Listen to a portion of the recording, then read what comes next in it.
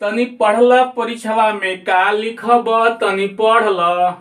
ए लिखब कि बी लिखब? अपना गाँव घर के लोगन के नाम लिखब? तनी पढ़ल। जिस किसी भी सेंटेंस में एवरी नेवर ऑलवेज ऑफ़ एंड डेली रेयरली क्या क्या बोल दिया गया? एवरी नेवर ऑलवेज ऑफ़ एंड डेली रेयरली तो जिस किसी भी सेंटेंस में एवरी नेवर ऑलवेज ऑफ़ एंड डेली रेयरली नज़र आएगा उस सेंटेंस को प्रेजेंट इन डिफिनिट टेंस में रखना है। प्रेजेंट इन डिफिनिट टेंस का मतलब उसमें भर वन होगा या भर फाइव ही होगा। कब? जब एवरी नेवर ऑलवेज ऑफ़ एंड डेली या रेयरली रहेगा, तब।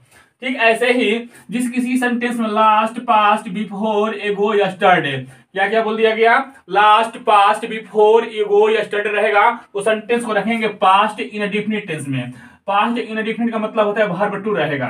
Last past before ago yesterday रहने पे वर्ब टू लगाएँगे। किसी भी सेंटेंस में नज़र आएगा तो वर्ब टू होगा। ठीक ऐसे ही जब किसी सेंटेंस में टुमारो नज़र आएगा तो सेंटेंस को रखेंगे फ्यूचर टेंस में। किसमें रखेंगे? फ्यूचर में टुमारो रहने पे। ठीक ऐसे ही जब सेंटेंस में किसी भी सेंटेंस में now this time this day this days रहेगा तो प्राय ऐसे शब्दों वाले सेंटेंस को प्रेजेंट कंटिन्यूअस टेंस रखते हैं। प्रेजेंट कंटिन्यूअस टेंस का मतलब इज़ आर या एम प्लस वर्ब फोर तो एक बार फिर से ever never always often daily वाला सेंटेंस कहा जाएगा प्रेजेंट इन डिफिनिट में यानी वर्ब वन या verb five last past before ago या स्टडी वाला सेंटेंस जाएगा पास्ट इन डिफिनिट टेंस में यानी वर्ब टू जिस सेंटेंस टुमारो रहेगा, कहा जाएगा? फ्यूचर टेंस में जाएगा। ठीक, ऐसे ही now this time this day this days this month this years etc रहेगा। उसको रखेंगे हम प्रेजेंट कंटिन्यूअस टेंस में। यानी is are am plus verb for example solve करते हैं। जैसे दिया गया है C dot dot dot here every day. जैसे ही एवरी दिखाई दिया तो चक्कर पड़ना प्रेजेंट इनडेफिनिट, यानी वर्ब वन या भर फाइव। तो थोड़ा देखते हैं सी है तो सी में वर्ब वन नहीं लगाते हैं तो क्या होगा, भर फाइव होगा। ढूंढते हैं भर फाइव कहाँ है। तो पहले ऑप्शन में कम्स, एस वाला भर फाइव होता है, यानी यही होगा। इज़ कमिंग तो होगा नहीं, ये भी नहीं होगा, ये भी नहीं होगा, यानी ऑप्शन होगा ए।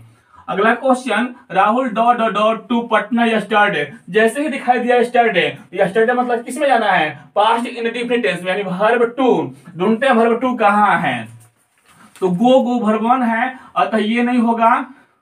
वेंट वर्ब टू है, अतः ये हो सकता है। गॉन तो वर्ब थ्री है, ये भी नहीं होगा। इज़ गोइंग तो ये होगा ही नहीं। अतः से होगा बी वेंट अगला question my father dot dot dot tomorrow जैसे ही टुमारो दिखाई दिया तो क्या ढूंढना है जी?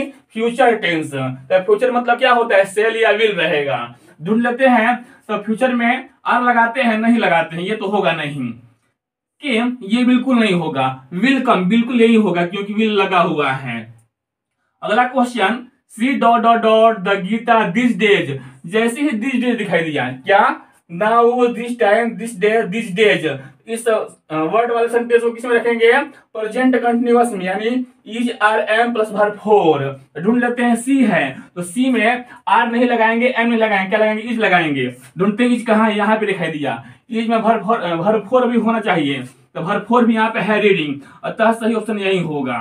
इस तरीके से आप चुटकियों में टेंस पैटर्न पे आने वाले 10 से 12 क्वेश्चन को सॉल्व करके एग्ज़ाम में आइएगा।